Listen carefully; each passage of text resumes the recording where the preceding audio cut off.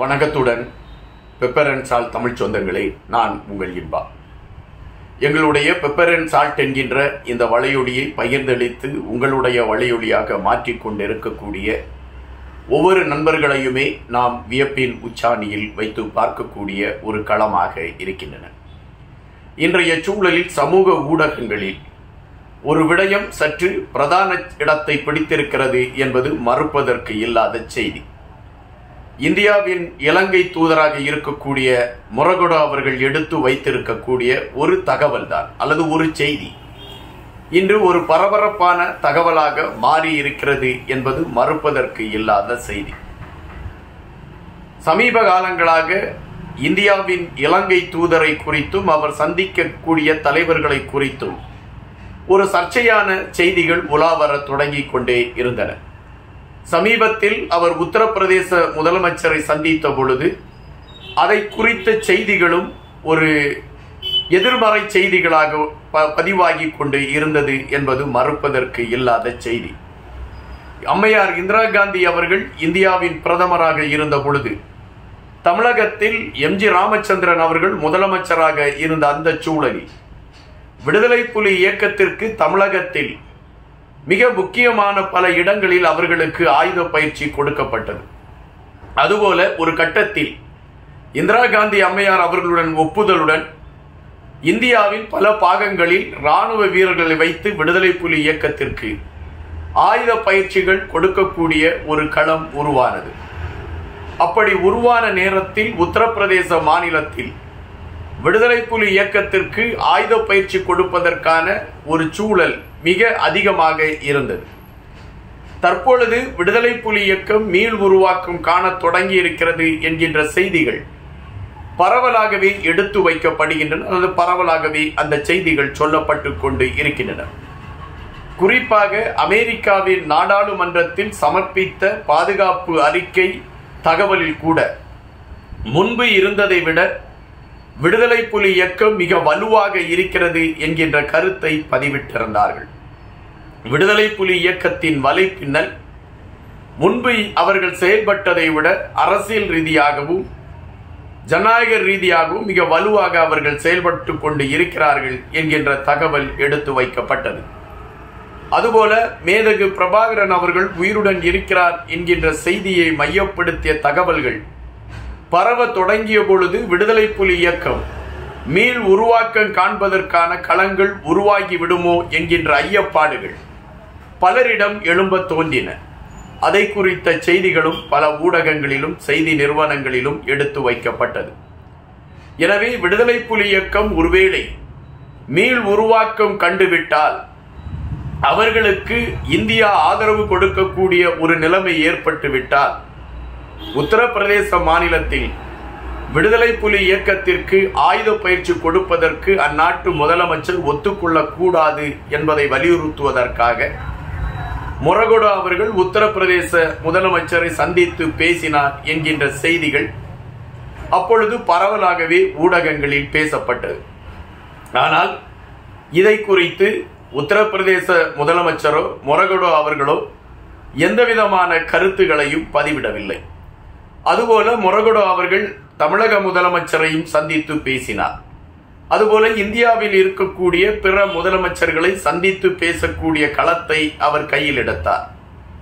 இவைகள் பல சர்ச்சையான தக கருத்துகளாக அப்பொழுது பரபரப்பாகவே பேசப்பட்டன. இந்த சூழலில் மலிந்தோ மொரகொடோ அவர்களிடம் தற்பொழுது ஊடக நண்பர்கள் ஒரு கேள்வியை கேட்டிருக்கிறார்கள்.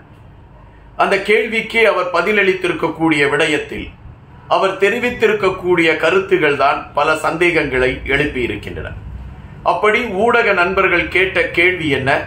அவர் எடுத்து வைத்த பதில் என்ன? போன்றவற்றை குறித்து நாம் பார்க்கின்ற பொழுது உண்மையிலே சில சந்தேகங்கள் எழும்பாமல் இருப்பதற்கு வாய்ப்பில்லை. இந்தியாவில் இருக்கக்கூடிய மிக முக்கியமான ஒரு தலைவர் ஒருவர் மேதகு பிரபாகரன் அவர்கள் உயிருடன் இருக்கிறார் என்று சொல்லப்படுகிறது. உண்மையிலே மேதகு பிரபாகரன் அவர்கள் உயிருடன் தான் இருக்கிறாரா என்கின்ற கேள்வியை இந்தியாவின் இலங்கை தூதரிடம் ஒரு பத்திரிகையாளர் கேட்கிறார். இந்த இலங்கை அரசாங்கம் மேதகு பிரபாகரன் அவர்கள் உயிருடன் இல்லை என்பதை மிக அழுத்தமாகவே பதிவிடுகிறது. அதை அவர்கள் மேதகு பிரபாகரன் அவர்கள் உயிருடன் இருக்கிறார் என்கின்ற சர்ச்சையான கருத்துகள் வந்த பொழுதே இல்லை மேதகு பிரபாகரன் அவர்கள் உயிருடன் இல்லை என்று இலங்கை ராணுவம் அறிவித்தது. அதுபோல இலங்கை ஆட்சியாளர்களும் மேதகு பிரபாகரன் அவர்கள் உயிருடன் இல்லை என்பதை அறிவித்துக் கொண்டிருக்கின்றார்கள். எனவே இலங்கையின் இந்திய பிரதிநிதியாக இருக்கக்கூடிய மலிந்த மொரகொடா அவர்கள் கூட மகிந்த மொரகொடா அவர்கள் கூட அதைத்தான் குறிப்பிட வேண்டும். ஆனால் அவர் அதை குறிப்பிடாமல் அவர் சொல்கின்ற கருத்து பல சந்தேகங்களை எழுப்பியிருக்கிறது. அவர் சொன்ன கருத்து மேதகு பிரபாகரன் அவர்கள் உயிருடன் இருக்கிறாரா என்பது எனக்கு தெரியாது. அவர் உயிருடன் இருக்கிறாரா இல்லையா என்பது எனக்கு தெரியாது. எங்கள் உறவுகள் பலரை நாங்கள் இந்த போரிலே இழந்திருக்கிறோம். அவைகள் எங்களுக்கு மன வருத்தத்தை கொடுக்கிறது என்கின்ற கருத்தை அவர் பதிவிட்டிருக்கின்றார். அப்படி என்றால் இந்தியாவின் இலங்கை தூதரால் ஆணித்தரமாக மேதகு பிரபாகரன் அவர்கள் உயிருடன் இல்லை என்பதை சொல்ல முடியாத ஒரு இக்கட்டான சூழல் இருக்கிறது என்றால் மேதகு பிரபாகரன் அவர்களை குறித்து பல நெடுமாறன் அவர்கள் எடுத்து வைத்த கருத்து உண்மையானதாக இருக்குமா என்கின்ற கேள்வி முதன்மை பெற தொடங்கி விடுகிறது. அல்லது மலிந்த மொரகுடோ அவர்கள் எடுத்து வைத்த கருத்தின் பின்னணிக்குள் இந்திய அரசாங்கம் விடுதலை புலி இயக்கத்திற்கு ஆதரவுகளை அளிப்பதற்கான களங்களை கையில் எடுக்க தொடங்கிவிட்டது என்பதை அறிந்து வைத்துக்கொண்டு மேதகு பிரபாகரன் அவர்கள் விடயத்தில் எனக்கு எதுவும் தெரியாது என்கின்ற கருத்தை மலிந்த முரகடோ வைத்தாரா என்கின்ற கேள்விகள் தான் எழும்பிக் கொண்டு இருக்கின்றன. தற்பொழுதுள்ள சூழலில் இந்தியாவின் மத்திய அரசாங்கத்துடைய செயல்பாடுகளில் ஈழத்தமிழர்களுடைய விடயங்களில் மிக அதிதீவிரமான கவனம் செலுத்த தொடங்கி இருக்கிறது என்கின்ற விடயங்கள் பேசப்படுகின்றன.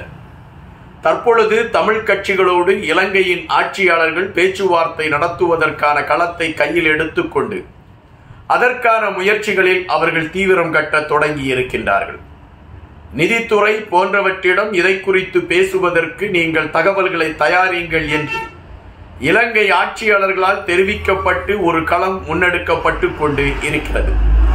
இந்த சூழலில் இந்தியாவின் பிரதமரும் ரணில் விக்ரமசிங்கேயும் வருகின்ற ஜூலை மாதம் சந்தித்து பேசுவதற்கான ஒரு களம் உருவாக்கப்பட்டு கொண்டு இருக்கிறது என்கின்ற செய்திகளும் எடுத்து வைக்கப்படுகின்றன.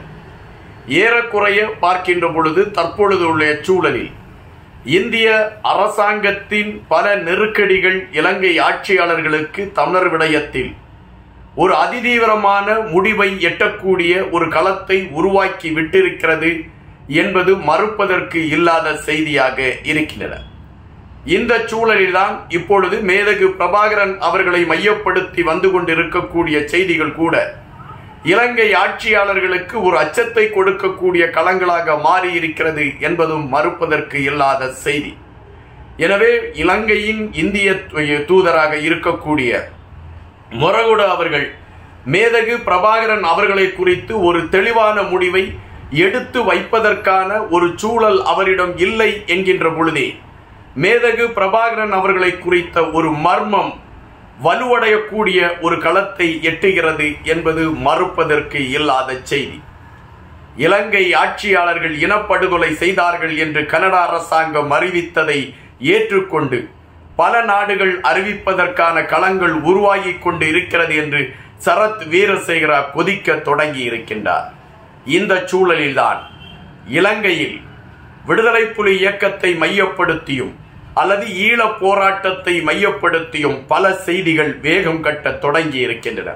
காத்திருங்கள். பல உண்மைகளை சுமந்து இந்த செய்திகள் வெளிவருகின்ற பட்சத்தில் ஒரு தலைமையின் கீழ் ஈழப் போராட்டம் மீண்டும் ஒருங்கிணைவதற்கான வாய்ப்புகள் இருக்கிறது. நன்றியுடன் இன்பா